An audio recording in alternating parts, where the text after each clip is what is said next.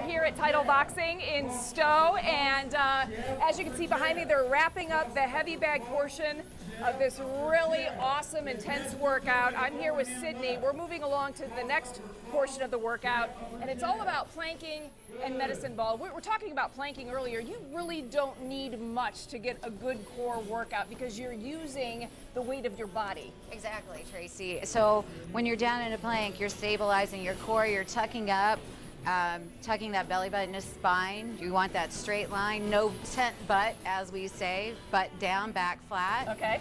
And then you have your shoulders, upper back, shoulders, upper back, and your arms. stuff that you can do at home. If you're on the couch, Yeah. come join us. You ready? Okay, here we go.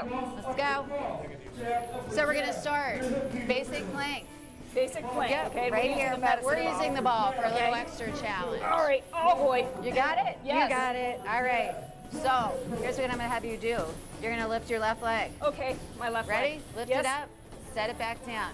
So what that does is you're stabilizing that core, Yeah. utilizing it to keep that other leg, you And know. plus, you're trying to stay stable on the ball too. exactly. Now right leg. Ready? Okay, right leg. Let's Yep. Up. Up. Perfect. Take it down. Okay. All right. So that's just one. All right. You ready? We got mountain climbers from here. Mountain climbers. Okay. So, what you're gonna do, super slow, you're gonna bring that knee in. You're gonna try to cross those thumbs. And then you're gonna back it out. Yep, opposite side. Bringing it in, try to cross, and then back it out. Now, I tell everybody, the ball is an added challenge, all right? If it hurts your wrists, okay. we don't use it. Okay. They just go down. You can do these in an elbow plank. You can do these just with your I've hands on the mat. butt. I've got tent butt. No tent, but butt down, back flat. I flat. know.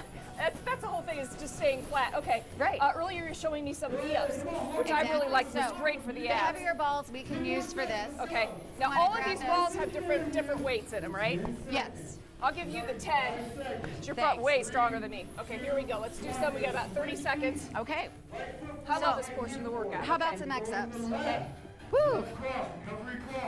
All right, so ball here. You're gonna come up, touch your left leg. Okay. Up. Now use that ab to bring you up. Oh, Don't yeah. use the ball for momentum. I can feel it. Right here, kick that ab in, touch that shoe, Okay. and back down. Up, tap. Again, you don't need the ball. All right, you can Just do do it these with your- without your the ball. arms, right? Yep, let's add a center. So you got left. Oh boy. You got it, right? Now we're gonna add that center. V sit. Ready? This Let's is the do hard it. one. Oh boy. We got Woo! it. Yeah. you got to keep your legs straight, right? Yeah.